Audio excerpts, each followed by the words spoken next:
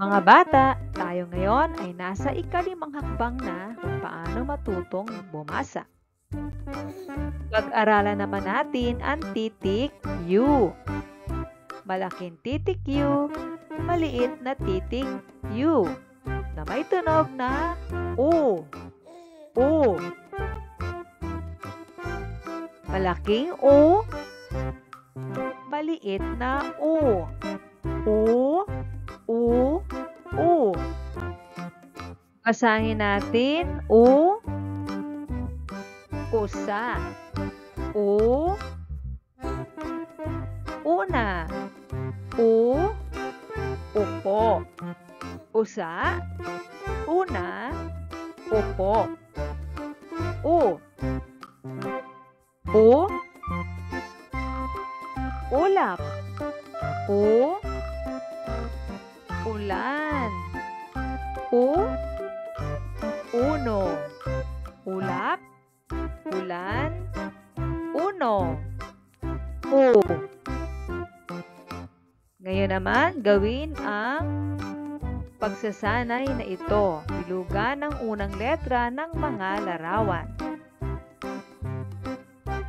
Kung tapos ka na, ating tsekan. U, ulan. U, unan. Ulap. U, usa. U, ube. U, ulo. Tama ba ang inyong mga binulugan? Mahusay.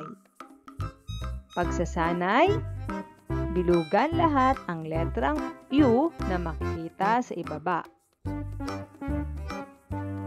Narito ang mga sagot. O.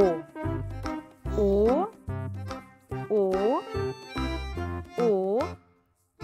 O.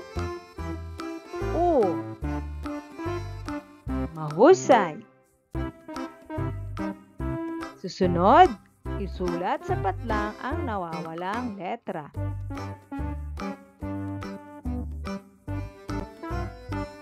Kung tapos ka na, ating sagutan. O, ulap. O, ulan. O, una.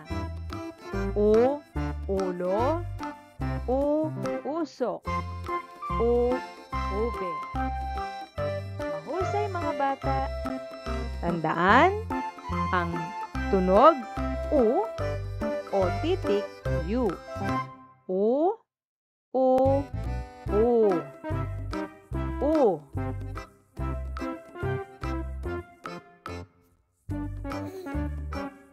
Good job!